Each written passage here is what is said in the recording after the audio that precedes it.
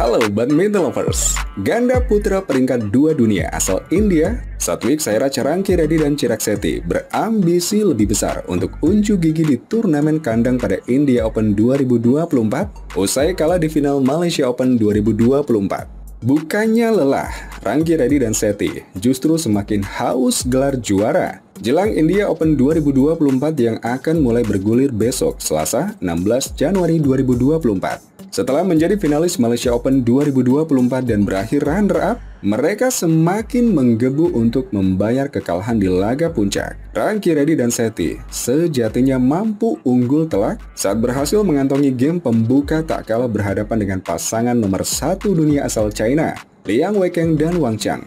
Skor 2-1-9 rupanya tetap tidak bisa menjamin apa pun.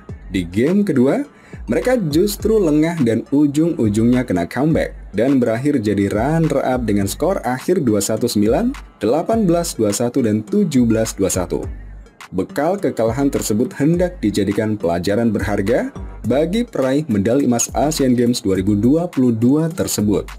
Terutama karena pekan penting di India Open 2024 kali ini, mereka sangat ingin memenangi turnamen BWF World Tour Super 750 tersebut.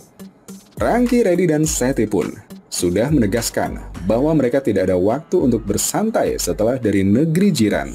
Sepulangnya ke tanah air mereka, juara Indonesia Open 2023 itu akan langsung menyusun strategi untuk terus meraih kemenangan. Jika memungkinkan kembali bertemu Liang dan Wang di laga puncak lagi, mereka sangat siap untuk melancarkan laga revenge. Rangki Reddy dan Seti akan kembali berstatus unggulan 2, sedangkan Liang dan Wang juga unggulan 1. Pertemuan mereka paling mungkin terjadi jika kembali bertemu di final. Kami ingin tampil baik di turnamen kandang kami pekan depan. Kata Satwik Sairaj Rangki Reddy dikutip balasport.com dari Times of India. Jadi, kami tidak ingin bersantai dengan runner-up ini. Kami lebih lapar gelar, dan kami juga ingin bermain bagus di depan keramaian publik kami sendiri.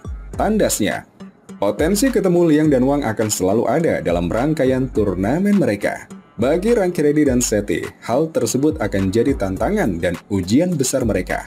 Sebab, menghadapi Liang dan Wang selalu tak pernah mudah. Sampai kami pensiun pun, kami akan terus melawan mereka dalam waktu yang lama. Selalu sulit berhadapan dengan mereka, kata Rangki Reddy. Kami senang dengan apa yang kami raih, kami senang bisa melaju jauh di turnamen ini. Tapi saya masih belum merasa mengeluarkan kekuatan saya 100%, masih ada yang tertinggal dalam diri saya. Jadi, saya belum puas.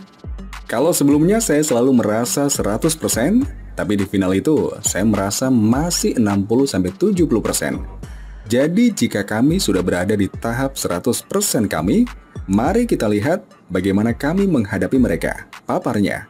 Sementara itu, Chirag Seti berharap benar-benar bisa menampilkan aksi memukau di rumah sendiri mereka akan jadi salah satu tumpuan India untuk meraih gelar di ajang tersebut. Seharusnya kami bisa bermain lebih baik sampai akhir, tapi yang tidak kalah penting adalah melihat sisi positifnya. Ujar Seti, kami sudah melakukan beberapa match bagus di sini, tapi kami belum selesai, dan kami berharap bisa lebih baik dari hasil ini, kata dia.